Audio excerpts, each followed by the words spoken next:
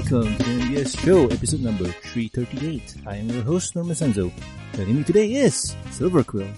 Hello, you fine bronies and Pegasisters. Hey there, man. How you doing? I'm doing well. How about yourself? I'm doing well. I'm doing well. Um, I think I may have caught the sore throat, so that sucks. But hey, um, you gotta how do how do I put this? The show must go on. Yes, right. Oh, le- what is it? Lemon tea and honey? That is one of them. That's one of them. Or you can just take lozenges, or drink a lot of water, or take medicine. I like the honey one because at least it tastes good. That's true. That's true. That. So, anywho, um, thank you for coming on, Silver. I know this is not your usual forte, but uh, I caught you in a well, I won't say right time, but I caught you at a convenient time. Is that right? He pointed a gun at me. Someone said help. oh, it's too late. You signed the contract. Ah. Uh, but anywho, but anywho. So let's not dilly dally and let's hop right into it. So in the first news, more confirmation and reminder of upcoming future Equestrial movie and season 9 episode. So if you guys got no idea, uh, it seems that we'll be getting more ponies in the future. Yay! Um, in the form of season 9 and an Equestrial special. So Silver, what do you know of this? Well, I know that the season nine, which seems to be the last season for this iteration, it will be the full 26 episodes, which I'm glad. Give the ponies as much spotlight as they can before we make this unique transition. Some people say that this might be the last, but I'm hoping for a 10th season just to round up the number. Just because I want it to be, uh, what you call this, a decade. A decade full of ponies. That would be awesome. Like, seriously, that would be awesome. 10 years of ponies. Oh, so you're saying this pony has tenure? yeah, yeah. It means you can't fire them, no matter how much they might deserve it. no, no, I'm not bitter from my college days. Why do you ask? oh, boys. But on top of that, we'll get a Equestrial special. So, um, I don't really want to spoil the audience at home about this, but if you guys seen the San Diego Comic Con special or the panel that they had, they showed a glimpse of this, and I'm very excited for this. Are you, Silla? Well, I think it'll be fun. I, I'm not as into Equestria Girls as I am uh, My Little Pony. Sunset Shimmer is the is the standout for me. You have this magical world filled with these rare creatures and you know threats from from dark beings or what have you, or just a fun slice of life. And then you have high school. I would live through high school. Once was enough. Thank you very much. Oh, true that. True that. I did see the San Diego teaser, and I too am looking forward just to seeing how are you going to handle this. Oh yeah, yeah, yeah. I mean, I'm more excited of the reaction that a the fandom is going to have, and b the characters are going to have because shenanigans. I call shenanigans, shenanigans. Yep, yep. So, like I said, I'm not gonna spoil it for people. If you guys have not seen it, be excited for it. I know I am. Silver is too. And Silver did mention he's not a big fan of the Equestria Girls. So uh, that says a lot. So that's next oh. year, and I'm not sure when. Yeah, that's always the part that's left up in the air. When do we when do we see these ponies again? Or these humans? Oh, true that, true that. Uh, probably near the future, maybe March. Who knows? I hope. But uh, we don't have to wait long because we have the holiday special, best gift ever. Yes, a heartwarming Christmas special the weekend before Halloween. Ain't that right, Silver? Ain't that the tradition? Oh, yes, I remember gathering around the Christmas tree and hanging all the zombie head decorations. oh, actually, what am I saying? There's, there was, uh, there's a house in Texas. Mm-hmm. I think this was last year maybe two years ago, they had the, a nativity scene with zombies. Let me guess. Optimus Prime and Decept- the Decepticons were there too, right? You know, maybe they should consider that for for uh, one that won't get uh, their Christian neighbors upset. Oh my goodness, talking. Oh, you know what? No, I'm not gonna go there. There's something for us privately to talk about later. Oh, oh my! oh my! Oh, Norman wants Norman wants to get private. Well, welcome to the news report after dark. Oh God, no. Uh, maybe Patreon, wow. maybe Patreon something. I don't know. Uh, no, not that one. But anywho, uh, pony episode excited. Yes, but let's head into the next news. And Silver, have you ever been to Athens? Greece? Yes. No, I've not yet had the pleasure. Ah, same here, same here. I think I've only been in Europe, in Manchester, in the London or the or the United Kingdom. Yes, that's where I've been, and I've been to their gift shops, and you know they have the big bands, the um, guards with the fuzzy beaver hat thingy, and they they look cool and whatnot. But if you ever been to Athens, Greece, you'll be fascinated by this kid's shirt.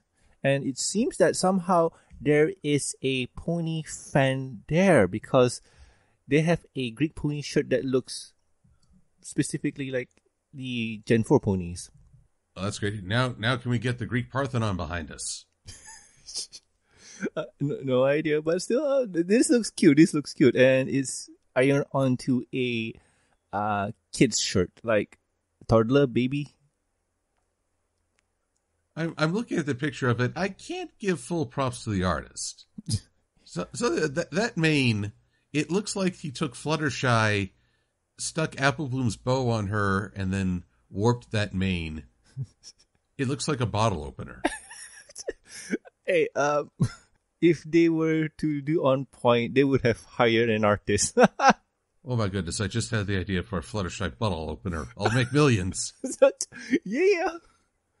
Uh, but honestly, what do you think, man? Like, to me, this is just a cash grab, but I find it cute. It is a cash grab, and eh, that's not the worst thing in Western civilization or or European civilization. Oh yeah, I, but I really think that they dropped the ball on this because they could have made a Kratos shirt.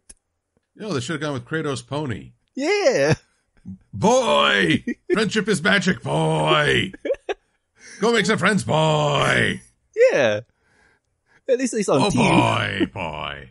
Uh, but wait, isn't uh, the God of War we love is set in uh, Norse mythology? Oh no. yes, you don't want Norse mythology and ponies mixing, otherwise you wind up with my little Sleipnir. oh god, no. Uh, there's so there's so much wrong with Norse mythology there, especially with Loki. my little Loki, my little Loki. We need to talk about your different acts. yes, uh, especially Zeus. Oh God, no. But anywho, last on the news is well, if you're traveling silver, and especially if you're traveling to the Great China, Great Wall of China, uh, that I, I don't know, the Great Firewall of China. Yes, if you're heading to China and thinking of a place to stay, why not at their Pony Team Hotel? Yes, that depends. Is there are there actual ponies in the hotel? I worried about the smell. Nah, it's just licensing by Hasbro. So uh, it seems that uh, a company in China will be uh, buying out license to pimp out their hotel in the My Little Pony team.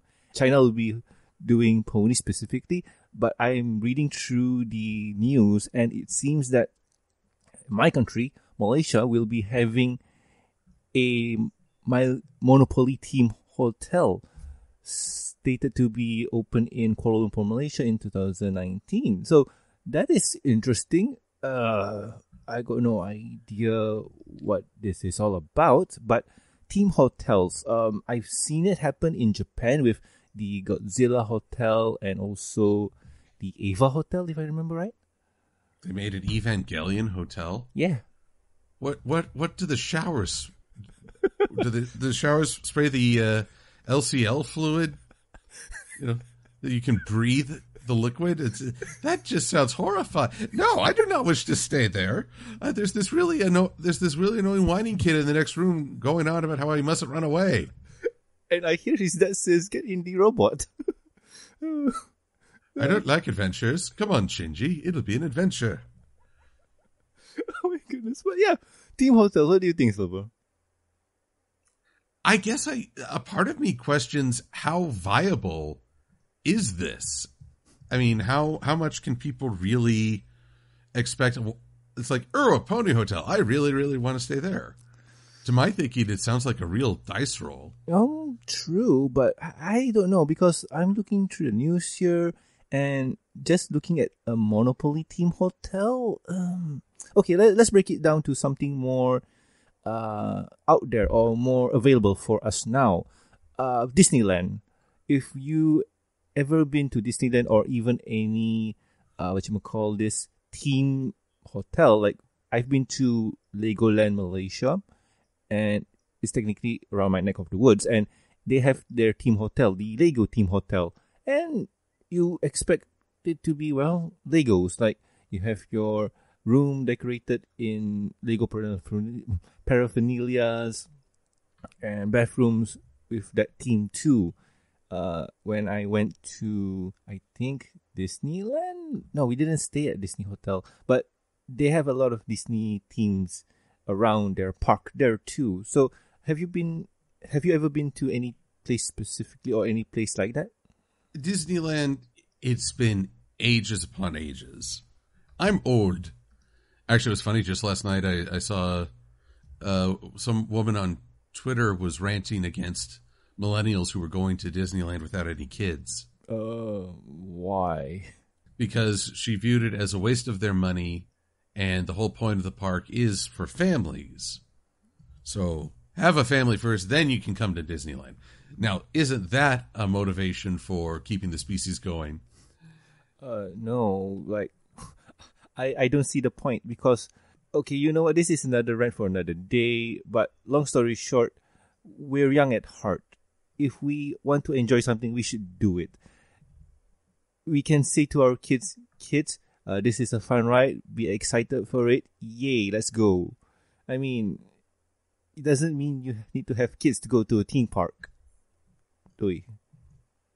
I just find it funny. It's like the dating scene changes Hey, do you want to go to Disneyland? Yeah. Do you? Shall we get married? Yeah. Why not? Huh. You joke, but uh, some of the bronies that went to uh, the con. Where's Disneyland located, by the way?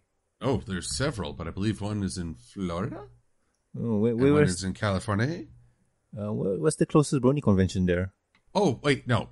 I'm sorry, Equestria LA. That's the one. EQLA, yeah. Uh, yeah, it's right down. It's just down the street. Yeah. So I, I seen a lot of bronies go there, like especially Griffin and Kreber and Jax Blade and also uh who else? Uh, the car fanatic. I forgot his name. Jax no um mm, uh, Saber Spark. Yeah, they they all go there. They all have fun. They don't have kids. But I know that AC Race Best is engaged. Yes, recently. But before that, he went there. Ugh. Robert, that's a very unique way to phrase it. Oh my god, he went there. yeah, I mean, but the point of the matter is, go have fun. You don't need some old fogey to tell you not to. Well, I just find of all the arguments you could make, Disneyland is for families. Oh well, so basically, going to church is for families too, then. Hmm, probably. and I've taken us completely off topic. We've gone from talking about uh, Chinese uh, hotels to Disneyland. Oh, true that, but it's in the theme because uh, just imagining staying at the uh, Monopoly team Hotel here in Malaysia and you step on the go directly to jail block and you just go directly to jail and don't come out. Help! They're not giving us good food. Although, okay, for the Lego themed hotel, uh-huh. I have to, I have to ask about their their breakfast menus. Is there a Lego My Eggo? I don't think so, but I think their waffles ah. are in their Lego brick uh, pattern oh, it's just not the same. I know, but hey, um, can't say much about that. So anyway, um, that's the news for this week. But here's a tradition we have, Silver, where after we finish the news, I will go to my favorite topic, and that topic is what have we been doing for our week. And since well, you're here, what have you been doing, man? Well, let's see here. Uh, getting ready for a grand wedding Ooh. out in out in Los Angeles. It will be the Wilstonator and Midnight Sonata, also better known as Will and Katie. It will be their wedding, as I got to witness the proposal at last year's BronyCon. Oh wow, that's awesome! That's awesome! Congratulations, congratulations! Uh, and you're the best man, or just going to be there? Uh, I'm part. I'm one of the groomsmen, uh, but not the best man. Ah, all right. Still, that... always a always a groomsman, never the best man. Doesn't that sound hyper competitive, the best man. but it's all good, man. It's all good. At least you'll be there having fun, making memories and whatnot. I demand that we have a battle royale to determine the best man for henceforth. If you're gonna say you're the best man, then you got to beat every man. Yeah, true. So, Yeah. um, which format you want to do? Uh, PUBG, Fortnite, or that new Call of Duty? Let's just say Overwatch and see who can rage quit first. Ah, boys. Yeah, yeah. Overwatch. Oh, by the way, Overwatch is out with their new hol- um, Halloween theme. How do you like it? I have been playing that, mostly the Revenge of Dr. Junkenstein, but I don't like it as much as I used to. Overwatch, all they've done is add new costumes, good ones, but it's still just new costumes. And with the character updates they've made to several uh, heroes, the ge- even the Dr. Junkenstein Horde mode is very different now and less fun. Really? No, I thought the horde mode. Well, uh, besides the one that you have to play is locked to the specific heroes. I thought it's not bad, that bad. And since you're playing on consoles, shouldn't most of the characters are okay? Because I think they had a balance patch for Pharah, which made her rocket shoot faster, but other things that nerfed her. Well, the the characters are locked, but they've made it so you can select Torbjorn. Yeah, the new Torb. Yes. Well, okay, there's there's two things. One, this is a horde mode of very slow moving enemies who come in predictable patterns. Not only can he set up a turret, he can also lay down molten metal, Mm-hmm. liquid magma, and basically he can basically wipe out the entire horde before they even get up the stairs. so the rest of the team is just sort of sitting there picking off one, maybe two, uh, Zomnics they call them. Mm-hmm, mm-hmm. And so you're just sort of sitting there. And I don't play Torbjorn. I'm not a fan of builder characters. And so I'm just sitting there picking off one or two, but mostly just watching uh, Torbjorn kill the swarm before it even gets within range. Uh, Just like, this is not fun anymore. This is not a challenge. Uh, true, but I always view arcade as getting your nine win to get your three loot boxes. As do I, but at least I could say it was fun or it could be exciting. Not so now. Now it's just a chore. So even, oh, and this is just great. I was like, uh, I got a gold, uh, gold release in one of the boxes. Like, yes, which Halloween is it? It's Mariachi Reaper. That's one of the regulars. I thought, I thought the loot boxes were gonna prioritize the holiday skins. Nope. If you What? if you specifically get a gold box, you'll get a golden uh, loot box. Like you know, um, if you get a gold box, you'll be getting a gold item from all of the golden sets. Doesn't really matter where. Um, if you want to get a Halloween specific item, you'll get the pumpkin. Well, well, but that's just it. I did get the pumpkin, Golden and it gave me. And it wasn't a golden pumpkin. I don't.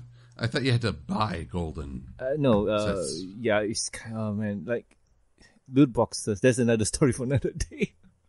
Loot boxes. It's, it is gambling. Not really.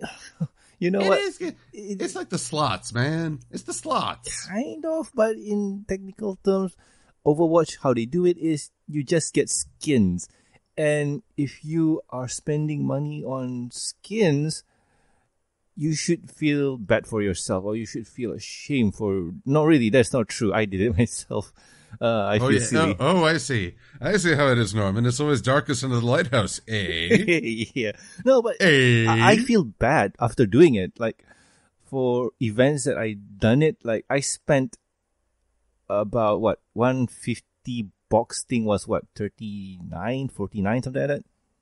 Mhm. So I bought it, kind of felt okay, but in the end, I thought of myself, this doesn't really do anything for me. So I stopped buying and I'll just play the game normally. I already supported the game and I'm happy with it. I hear you. I would very much like to get the Pharah haunted armor. Oh man, yeah. You, you, you technically can do that if you have 3000 uh, in-game coins. Yeah, no, I don't. Oh boy. I fell out of Overwatch for a good while. Yeah, I, I can understand. I, I kind of still play it once in a while just to keep my SR there and whatnot, you know, just to play it on a weekly basis. But still. So besides that, anything else, Silva? Oh, let's see. Mostly I've been working on resources and scripting for my review of the Hooffields of the McColts, including a study of the psychology of revenge. Nice. That's going to be awesome. That's going to be awesome. And did you enlist the help of Seppi? Well, I know she craves revenge against me, but not so. okay. No, because uh, I think a while back she mentioned that she was related to one of the clans. Was she? I I completely forget that. Yeah, um, it was a distant relation. Like she said she did, but I don't really remember which clan was it. But it Yeah. was a really distant relation. Like, eh, but dang. I don't, I don't know. I, in high school, we did a genealogy uh, project, and several classmates claimed they were distant related to Abe Lincoln or George Washington. You're kind of like, I don't know if I believe you. Yeah, it's, it's, it's a hard buy. It's a hard buy. But still, it's one of those things. But hey, I can't wait to um, watch that review. It's going to be awesome. Oh, that is my hope. And as for me and what I've, I've been doing my week, besides the Overwatch, um, let's see, I'm trying to go for something radical. Um, by now, I think all the listeners know that I play Magic the Gathering. So yes, uh, I've been playing a bit of Magic the Gathering, and I've been having fun with that.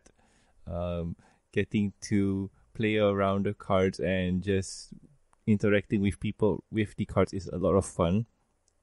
And besides that, oh, um, Devil May Cry 5 is coming out next year, and that got me really excited for the game. So I've been playing a lot of Devil May Cry 4 just to fill in that gap. Oh, wait, Devil May Cry 4, that's the reboot, isn't it? No, that's DMC Devil May Cry. Devil May Cry 4 is the one with Nero. Okay, okay. I'm not even a Devil May Cry fan, but when I saw the review and, and how they had changed Dante, it's like, that's just wrong. I know, I know. Uh, but in all honesty, Dante or DMC Devil May Cry is not a bad game. It has potential, but the creators of that game really didn't get the essence of Devil May Cry or what made that game so fun. And in all honesty, what makes that game fun is the cheese. Like all the cheesy one-liners, all the cheesy quotes that the character do, and the way they, they look, it's cheese oozing out of them. But you don't mind it because they're doing it in a cool way. Um, how to describe this? It's something like uh, it's so bad that it's good. Well, all I know is nothing will, nothing can top. I should have filled your dark soul with light. light. See, even that. Oh my goodness. uh, and totally, it's not creepy that you have your quote unquote um girl partner look like your mom. Yes, it ain't creepy. It's not creepy. Yep. so yeah, uh, we'll be alright. I, I I've been playing that and I'm really excited for five. And technically, Mega Man Eleven came out, but I didn't have the cash to buy that because on top of that, I also need to buy Spider Man. Uh, there is a lot of things that I need to buy. And yes, the Spider-Man DLC is coming out soon, so you're well timed. Mm, oh, if I'm not mistaken, they also added New Game Plus. Oh, did they? So you like like pl- replay the story with all everything unlocked? Yes, that's what I heard. Oh, joy! I I'd like to do that. Yay, that'll be awesome. because because after I beat the game, I just kept swinging around New York and beating up criminals. But it was like it's like I'm not going anywhere, but I, I just love web slinging too much. Uh, thanks Spider-Man 2 for that because uh, Insomniac took inspiration out of that. oh, there you go. It was one of the best things from a movie tie-in could do. Oh. Something actually useful. Did you know the story of Spider-Man 2, the games, uh, backstory about swinging? Just that what happened? A developer really wanted to be like Spider-Man. No, um, a one of the programmers really wanted uh, the swinging to be really good, and he took time off, or not really took time off. He snuck in work when everybody went home, and he did all the swinging programming on his own. Like he was adamant that we should do it this way, and I've done the code, and I staked my job on the line for this, and well, it paid off. Now, please tell me he got a promotion. I don't know. You know Activision. That's that's the most depressing thing you could have said. You know, activate. I do, and it makes me sad. Yep, yep, yep. But anywho, uh, whatever it is, that guy started a trend. It'll be awesome. So anywho, that's my week, and let's hit on to well end step or the end. So if you guys have any questions, concerns, or suggestions for the show, you can contact us at thewishgmail.com. You can also reach us on the Twitters. The show's Twitter account is at the MBS Show, and my personal Twitter account is at Norman Sanzo. Silver, where can the good people find you? Oh, a multitude of places. You can find me on the Twitters, MLP Silver Quill. You can find me on YouTube. Also, do a search just for Silver Quill or After the Fact, and you shall find me. Uh, you can find me on DeviantArt. Again, MLP Silver Quill. I was not very original in my branding. And every Wednesday, I post a comic review or editorial on Equestria Daily. Well, you aren't original in your branding, but you're consistent. Consistency. I get a lot of fiber. Yay. God, no. Oh, wow. I've been taking supplements for that. But anywho, and also please subscribe and rate us on iTunes, YouTube. Don't forget to press the bell icon to stay up to date. And Stitcher Radio. And also like our Facebook page. You can also catch us on ponyvillelive.com. Links are in the show notes. Also, do subscribe to the review and discussion podcast on iTunes and Stitcher Radio.